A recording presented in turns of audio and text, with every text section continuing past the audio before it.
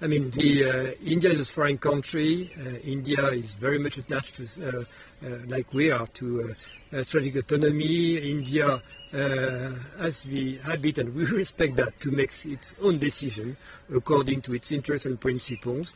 So nobody should say what India should do. that's that's first.